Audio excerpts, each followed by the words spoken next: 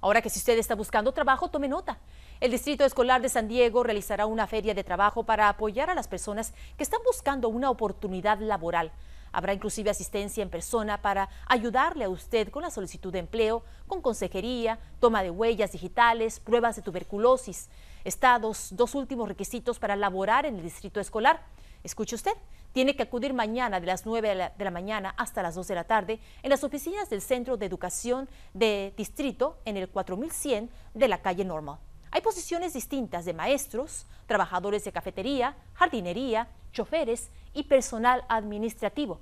Para más información también usted puede visitar nuestro sitio sandiegoya.com.